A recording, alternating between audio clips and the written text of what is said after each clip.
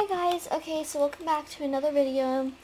Um, so today, yes, I did delete the house, but I'm pretty sure none of you care about that.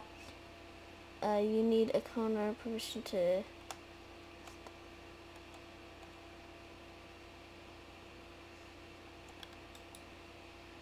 Okay, don't know what that was about. Um, so today we're just gonna, I'm just gonna be showing you all how to create a sliding door. Oh man, I lost connection. Okay. It's no biggie. We'll just go here. You know what? We'll just go. We'll just go. We'll just go right here. And we'll hurry about that. Now we're here. Okay. Now I'm going to make sure we're still recording. Okay. So, now we're just waiting for the game to open. Okay. Let's go, let's go. Okay, so we're just to select any spot, slot, whatever. Just because this isn't to take us long and none of that deleted. That's fabulous. So I'm just to be showing y'all how to create a sliding door, like I said.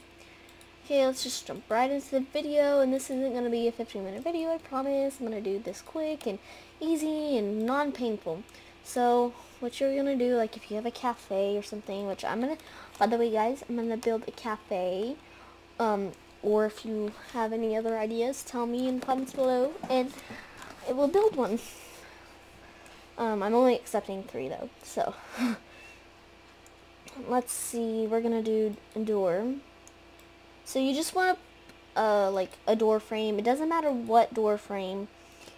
Um, but it does matter that it's like this size, not one of those big ones.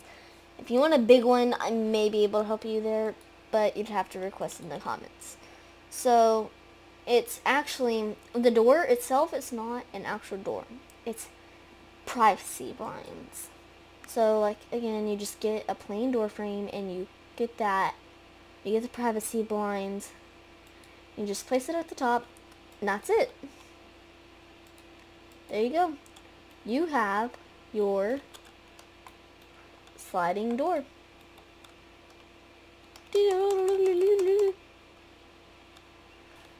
Thank you for watching and oh my gosh, um, yep. So, anyways, thank you for watching and uh,